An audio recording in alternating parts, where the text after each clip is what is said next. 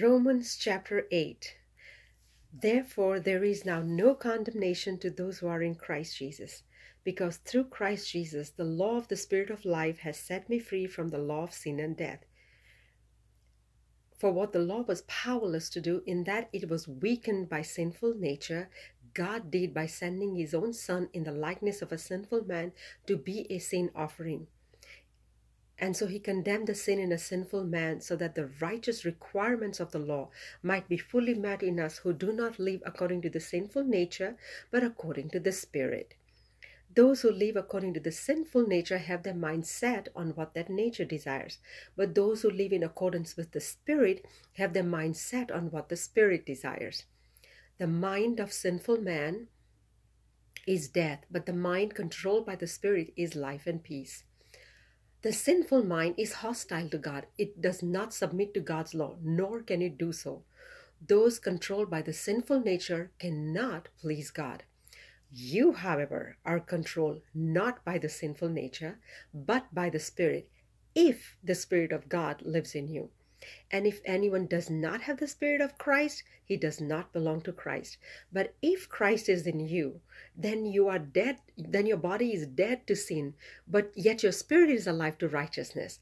And if the Spirit of Him who raised Jesus from the dead is living in you, then he who raised Christ from the dead would also give life to your mortal bodies through his Spirit who lives in you. Therefore, brethren, we have an obligation, but it is not to the sinful nature to live according to it. For if you live according to the sinful nature, you will die. But if by Spirit you put to death the misdeeds of the body, you will live because those who are led by the Spirit of God are the children of God. For you did not receive a spirit that makes you a slave again to fear, but you received the spirit of sonship, by which we cry out, Abba, Father. And the Spirit Himself testifies with our spirit that we are God's children. Now, if we are children, then we are heirs of God. Uh, then we are heirs, heirs of God and joint and co-heirs with Christ. If indeed we share in his suffering in order that we may also share in his glory. I consider that our present sufferings are not compare are not worth comparing with the glory that will be revealed in us. For the creation longs in eager expectation for the sons of God to be revealed. For the creation was subjected to frustration not by its own choice, but by the will of the one who subjected it, subjected it, in hope that the whole creation, that the creation itself will be liberated from its bondage to decay and brought into the glorious freedom of the children of light, uh, of the children of uh, God.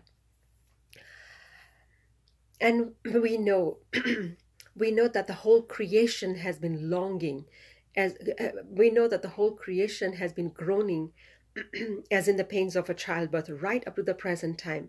And not only so but we ourselves who have the first fruits of the spirit groan inwardly as we eagerly wait our adoption as sons the redemption of our bodies. For in this hope we were saved but hope that is seen is not hope is no hope at all. But who hopes for what he already has? But if we hope for what we do not yet have we wait for it patiently. In the same way the spirit helps us in our weakness. For we do not even know what we ought to pray for but the spirit intercedes for us with groans that words cannot express. And he who searches our hearts knows the mind of spirit that the spirit intercedes for the saints in accordance with god's will and we know that in all things, God works for the good of those who love Him, who are called according to His purpose. Uh, so that, uh, uh, and we know that in all things, God works for the good of those who are called according to His purpose.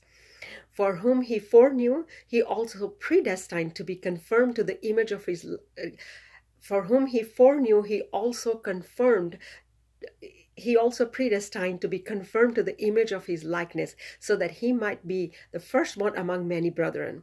For whom he predestined, he also called. Whom he called, he also justified. Whom he justified, he also glorified.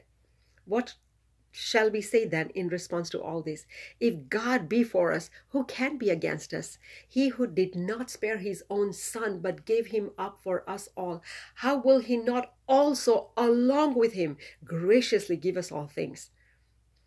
Who can lay any charge against whom God has chosen? It is God who justifies. Who is it that condemns? Christ Jesus, who died for us. Moreover, he was raised to life, is seated at the right hand of God, and is also interceding for us. Who shall separate us from the love of Christ? Shall trouble or hardship or persecution or famine or nakedness or danger or sword?